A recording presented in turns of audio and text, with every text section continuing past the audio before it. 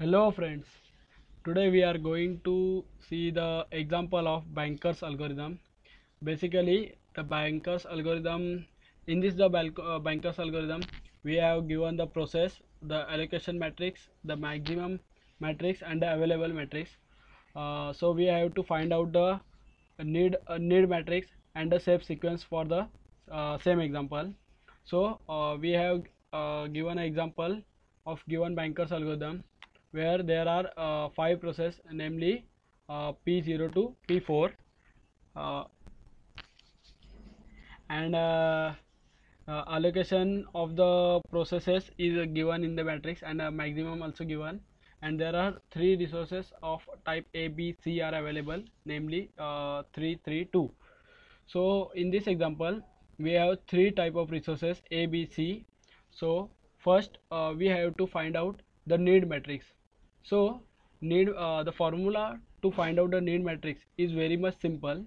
Need is equal to maximum available resources minus allocate allocated resources. Means we have to subtract the allocated resources from the maximum resources. So here uh, as you can see the maximum of a for process p0 is 7 and for a allocated resources is 0 so 7 minus 0 is 7 for b it is 5 minus 1 that is 4 and for c it is 3 minus 0 that is 3 so we have to find out uh, need need matrix for all the processes. So we just find out.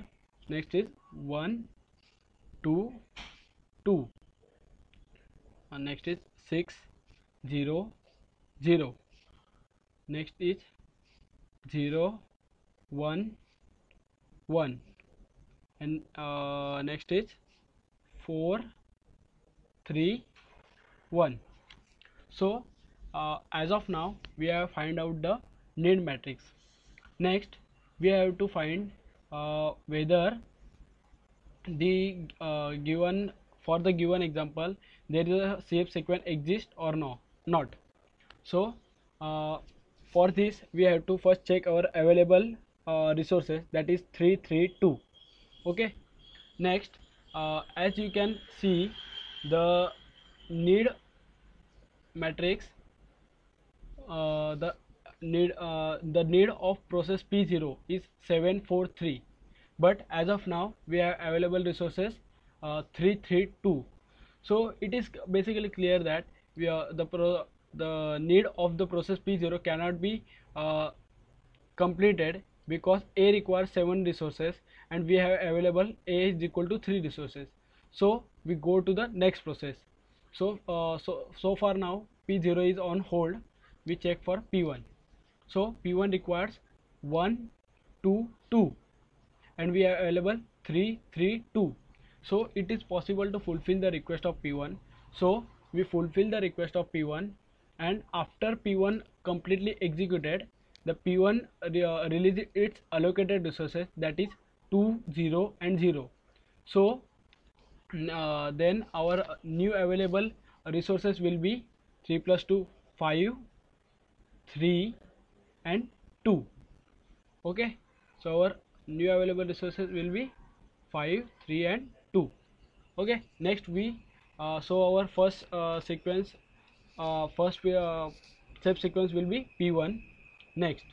As uh, now our available resources uh, are 5 3 2 next we check for p2 p2 requires needs 600 but we have 532 so uh, we cannot fulfill the request of p2 so we move, to the p3 so p3 requires 0 1 1 resources of type abc and we have 5 3 2 uh, available resources of type abc so clearly we can fulfill this request.